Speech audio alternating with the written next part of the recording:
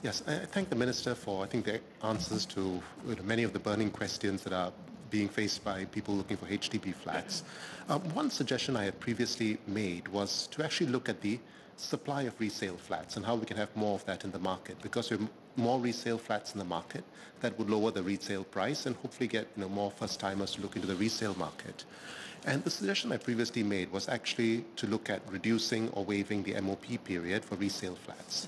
And to be fair, I think the answer I was given then was that may not be a viable solution because those who sell resale flats will go back into the market. So would the minister consider waiving or reducing the MOP period for those who sell resale flats but don't intend to go back into the market, say for those who are moving to stay with their children or maybe even upgrading to private property?